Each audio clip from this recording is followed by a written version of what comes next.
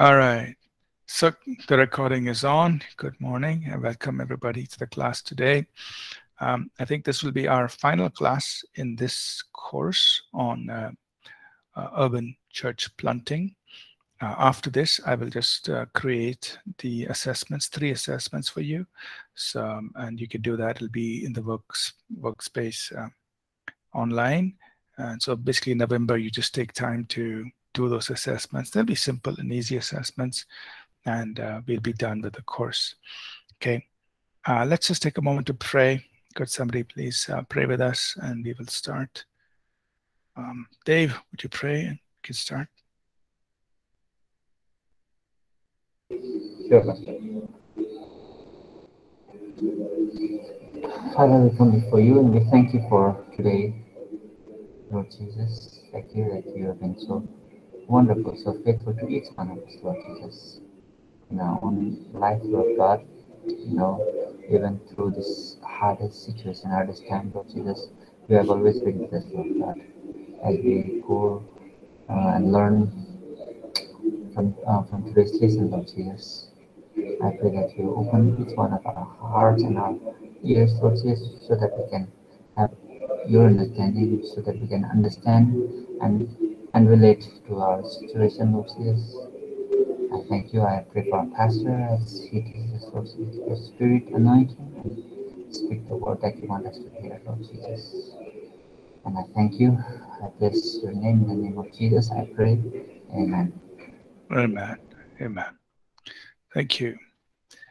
All right. So last class, that's yesterday, we uh, talked about um, some, you know, we just looked at some thoughts on the post-quarantine church. That is, um, uh, what would, what are some of the things to keep in mind uh, as the church moves out of this quarantine phase that we were forced to be in the last uh, almost almost two years now, or nearing two years. Uh, that you know, and uh, what are some things to keep in mind as we move out uh, out of that, and how does you know, in terms of uh, of church work, church planting, and ministry, some things to keep in mind. So uh, we did that yesterday. And my plan for today is just to quickly review the entire course, um, the main sections that we covered, uh, just to refresh ourselves, uh, put it all together, and then we will uh, wrap up wrap up with that. So I'm just going to do a quick review uh, from the very beginning of the things we covered in this course. All right, and um, if there are any questions or things you want to discuss, you know, please feel free to do that. So in the introduction section in the course, I just shared a little bit of my own personal journey. Uh, we talked about the fact that the Holy Spirit must be a leader in plant in uh, urban church planting work or starting a ministry. So he's the director for our ministry. He's the one who would lead us, and we follow his uh, directions. Uh, we talked about what are the definition, what is the definition objective of planting a church or starting a ministry you know we want to establish communities that are self-sustaining and that will you know be able to um, establish and host god's presence disciple new believers and influence their region and multiply uh, more churches that's what we are working towards. And, and whenever we plant a church it's with the purpose of multiplication. In the very beginning we said we need to get god's heart for our cities.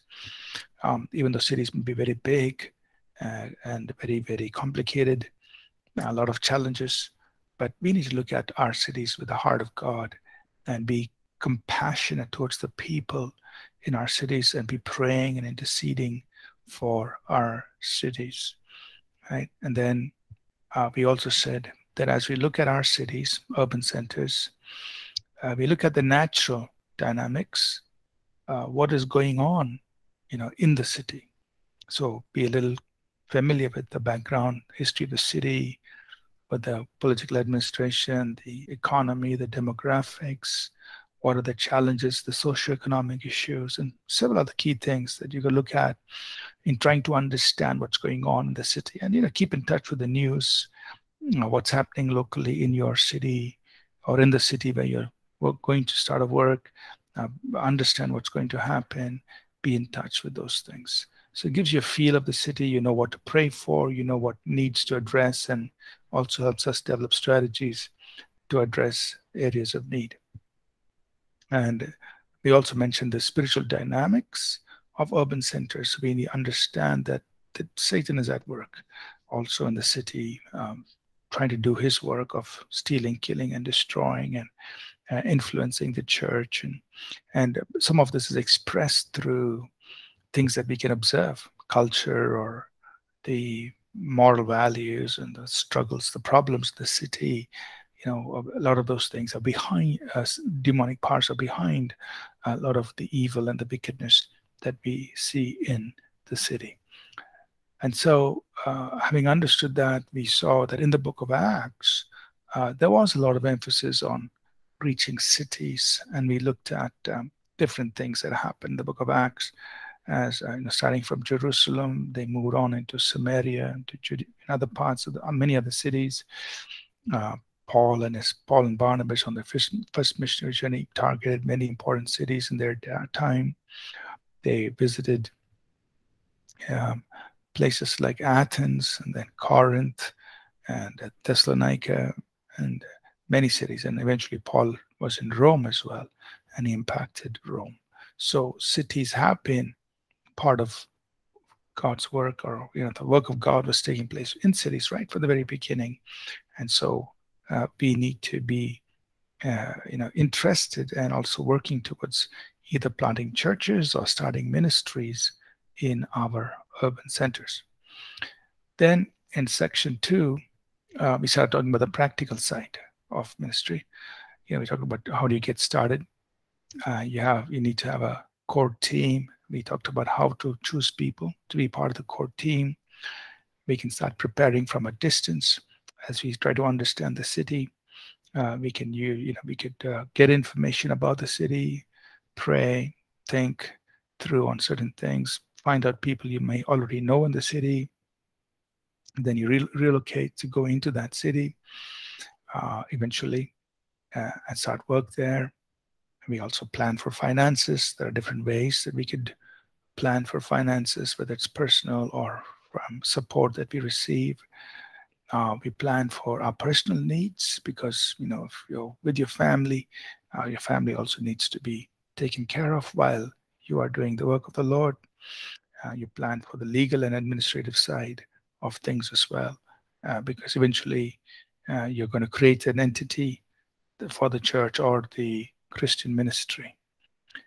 We talked about doing the survey, how you can survey the city, uh, try to understand what's happening, select the area that you want to start the work on, depending on your target audience, who are the people you're going to target. Uh, we talked about, you know, getting to know your launch area, become familiar with areas that you can reach, uh, the preparation, you may have some pre-launch meetings so people get to know that you're there and you're going to do some ministry there. Um, you may engage in a period of time of worship, prayer, and intercession. You also get to know your target audience, your primary target audience, you know, where they spend their time, what are their needs. Uh, you connect with people whom God may have already prepared for you in that place and uh, you know, share your vision. They may come and be a part of the core team. Uh, and then you identify your launch location where you're going to launch the church or the ministry. Uh, make sure it's accessible. Uh, certain things we spoke about here, um, and other places that may be useful as you do the ministry. An alternative, of course, is to start at home. You can start as a house church model and start from there. So then you step into the launch phase. You get the work started. Uh, you know, there are many different ways to launch. You could do a quiet launch, or you could do a big, big launch. However you want to do it. Some things to keep in mind if you're doing your first church service. Uh, make sure you plan for follow-up with people when they come. Then we went into strategies for urban evangelism, or urban missions. You know, different ways that you could um, reach people. Of course, we need to keep all our methods as spirit-led, legal, and ethical. Uh, we don't want to break the law in any way. Um, we uh, develop and identify and develop strategies, maybe by age groups, maybe by areas of need in the city, different spheres of activity, making use of tools, uh, technology, and ultimately the focus is to disciple and equip believers.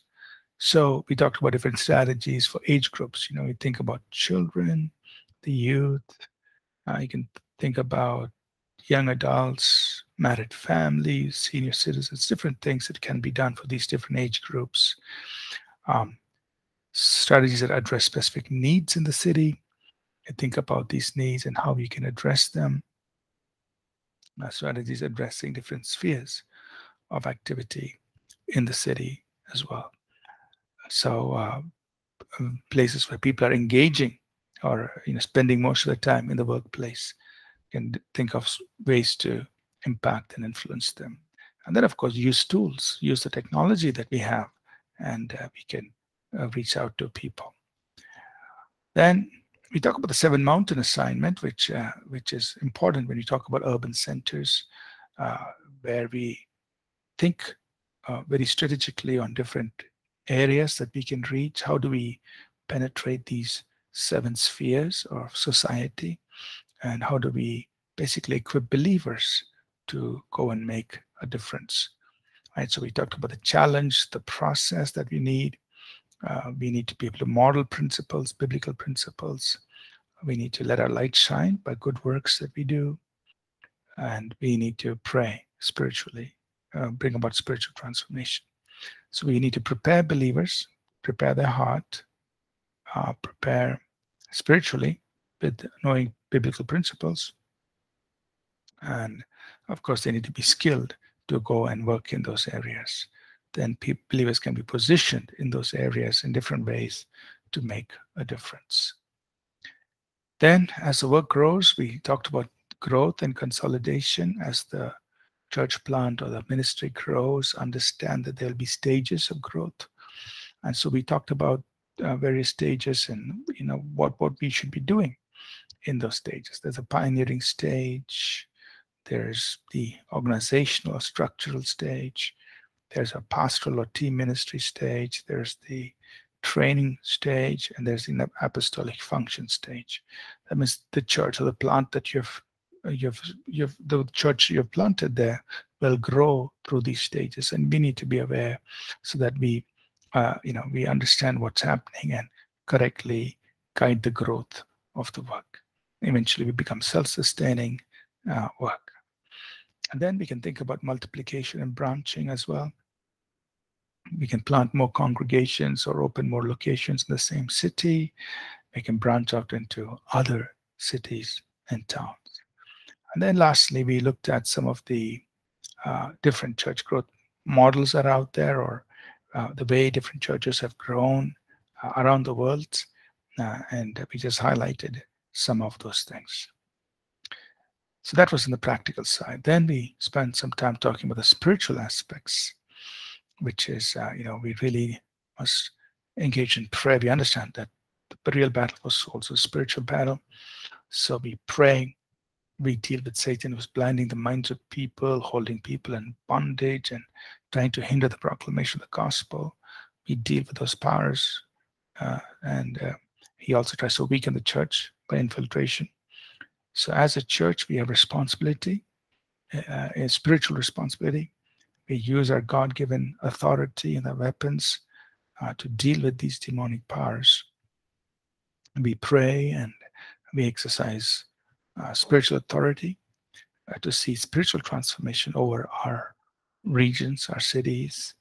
Uh, we pray, pray for the lost. We mentioned some points here on how to pray for the lost, and also how to, uh, you know, prepare ourselves for spiritual warfare. We always operate from a place uh, of the finished work of Christ on the cross, and that's how we engage uh, spiritually and we exercise our spiritual authority uh, to open prison doors, spiritually speaking, to see people released and brought in to the kingdom of God. In addition to praying, we must also proclaim the uncompromised gospel with the power of God. We proclaim the full gospel. Uh, we do reason, we reason and demonstrate. Uh, and we also break controlling powers by the proclamation of the gospel. So we pray, we proclaim, but we must also prepare God's people, equip the saints for, to go out and make a difference. We prepare them with the word of God, and we prepare them by uh, helping them uh, manifest or move in the supernatural and be salt and light wherever God has placed them. So we to you know equip them to do this. Then we also understand that we must also partner with other churches in the city. So we can't do this alone. Uh, we are in partnership with other churches and ministries. So we pray, we proclaim the gospel, we prepare the people, and we partner with other churches in the city. And that's how spiritually we engage to make a difference. Lastly, in the last section, we talked about the personal life of the church planter. Uh, that you know uh, you need to recognize that God has called you to this kind of work to plant a church or to um, start a ministry. Uh, you know, requires that certain grace to do that. And we mentioned some of the indicators of grace. We said some of we should avoid some of the wrong reasons to plant a church. And uh, you could either start on your own or you can work with a existing church or ministry to, to plant the church. And uh, you know, we talked about the pros and cons and things that we need to be careful of when you're working with an existing organization.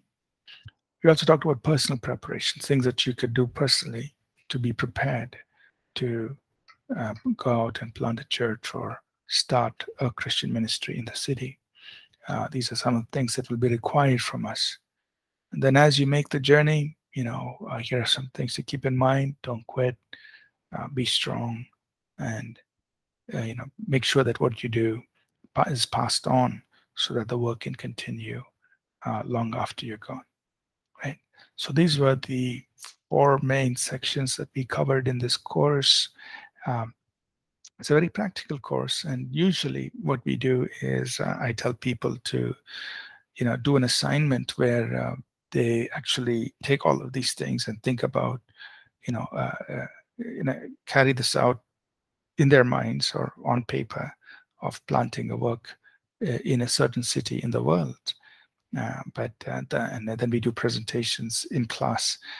Um, uh, but now since this thing is online and you know it's a little different, so I kind of skipped that kind of exercise. Instead, I'll just give you some practical scenarios in your questions to work on and uh, and you can you know just envision those scenarios and and apply what you've learned to address those kinds of situations so that's i'll give you some assessments along that line um, uh, uh, to just uh, as part of the evaluation.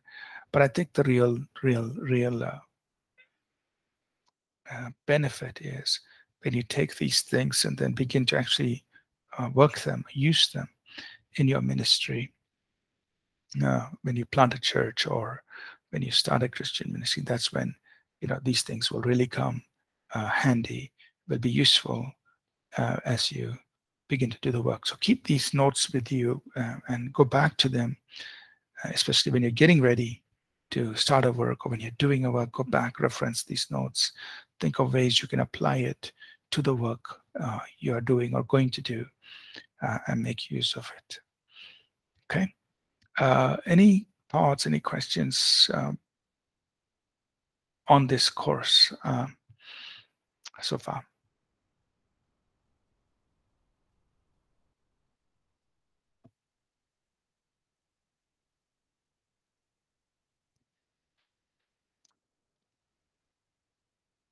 Okay. Um, so the plan now is uh, you know, so this is end of October. So during the month of November, there will be no classes.